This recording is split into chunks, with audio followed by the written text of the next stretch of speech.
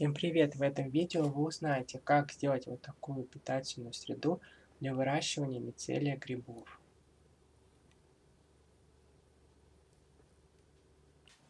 Для приготовления питательной среды нам понадобится пшеница, мед и желатин.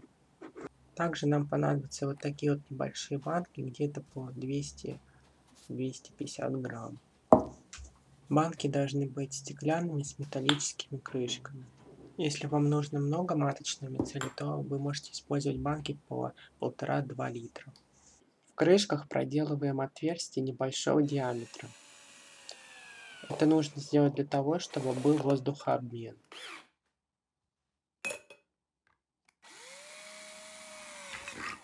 Берем ватный диск, скручиваем его вот такой небольшой кусок и засовываем в наше отверстие.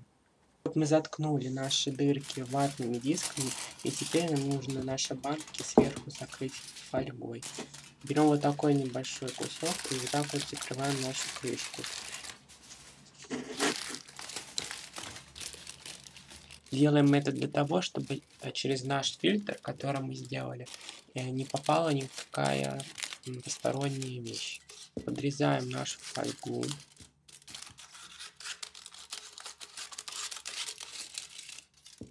И так делаем с каждой банкой. Теперь нам нужно простерилизовать наши банки. Берем наши банки в духовку где-то на 10 минут на температуру 180. Мы убрали наши банки в духовку, теперь мы будем готовить питательную среду. Для начала нам нужно сварить нашу пшеницу. Насыпаем в кастрюлю примерно где-то вот столько. На такое количество пшеницы наливаем где-то примерно 200 мл воды. Варить нужно будет где-то примерно полчаса. И периодически, по мере того, как будет испаряться наша вода, будем доливать воду.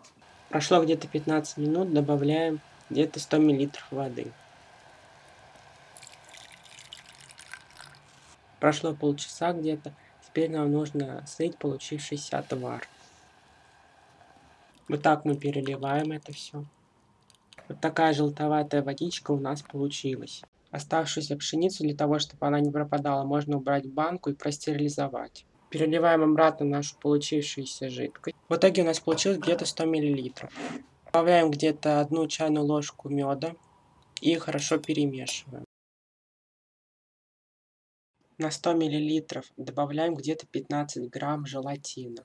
Можно его заранее замочить, либо же сразу добавить в наш отвар. Хорошо размешаем наш желатин и будем ждать, когда он растворится.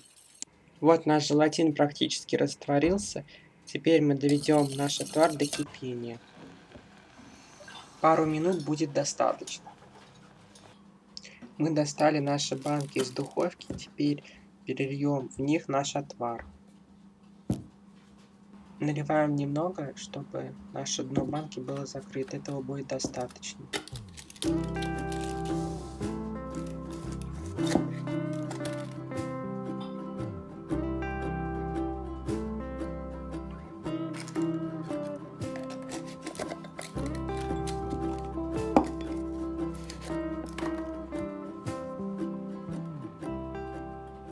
Теперь снова уберем наши банки в духовку минут на 5 при температуре 180. Прошел час, наша питательная среда застыла. Вот так, как видите, у нас что получилось. Всем спасибо за просмотр, подписывайтесь на канал и смотрите видео о том, как выращивать мицелий на такой среде у нас на канале.